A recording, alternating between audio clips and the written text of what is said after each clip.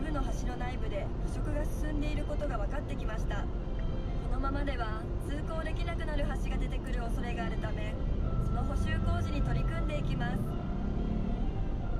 安全安心を次世代につなぐために NEXCO 中日本。こんなに美味しそうに何を食べているのでしょう。答えはふっくらもちもちの玄米です。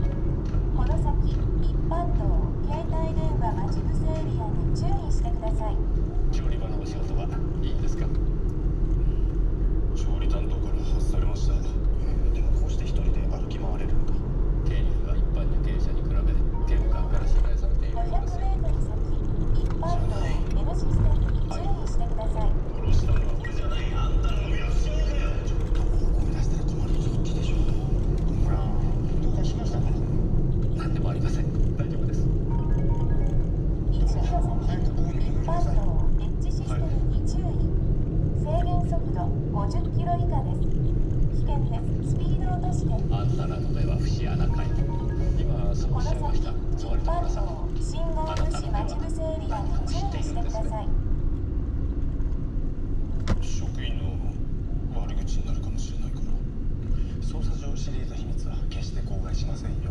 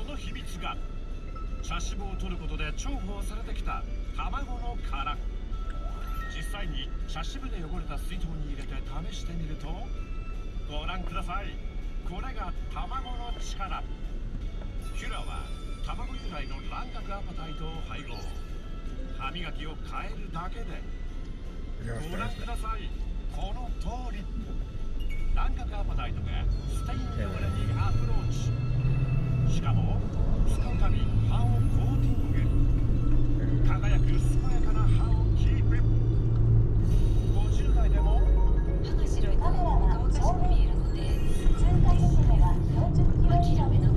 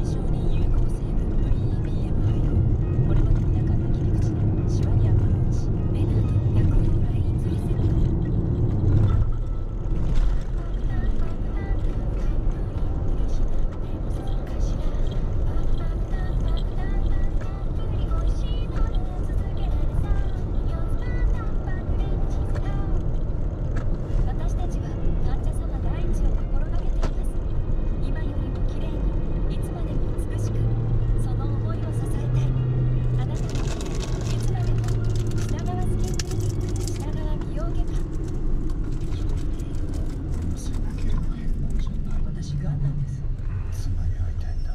早く出張して。一日だけ待ってくれ、うん、あの裁判はインチキだったじゃね。え頼みがあって連れてきたんだ。頼みかなみちゃんがいなくなった？警察より先に狩山を探し出さなければならない狩山君の居場所が分かったら私が会いに行きます。はじめまして。狩山さん。Believe. 便箋を書き損ねたから捨てた。ってあ嘘ですよね。あなたはそれに何かを書き佐野先生に託した。令状を取れば先生に提出させることもできます。失礼します。教会の日ではないのに今日もいらっしゃいましたか？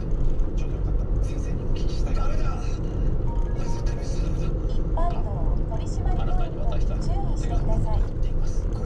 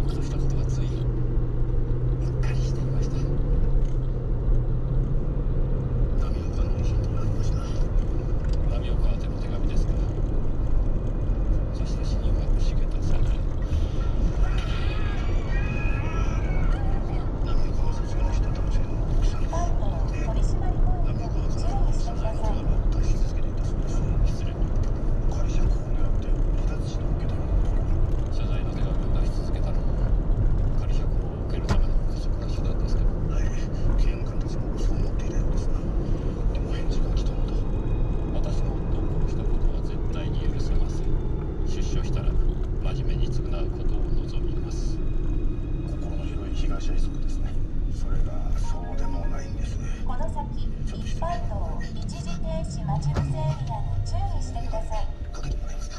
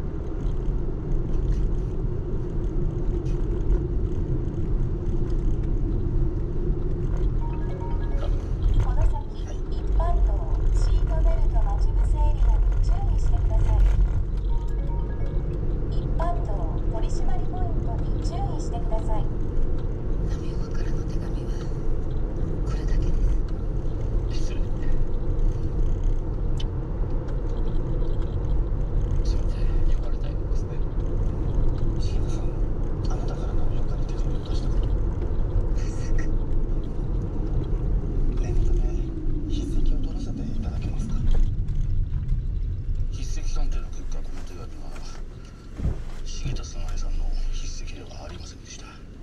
じゃあ誰かが彼女の名を語って出した。保護観察官に届けられた匿名の告発文はどうでした？問題はそれです。保護観察官に届けられた告発文です。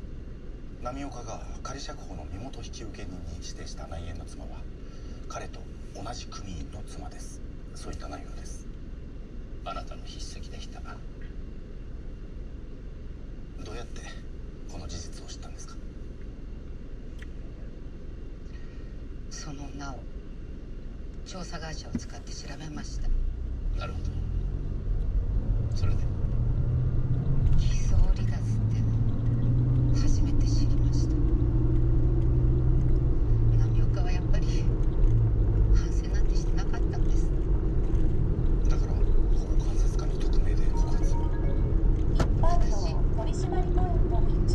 罪になるんです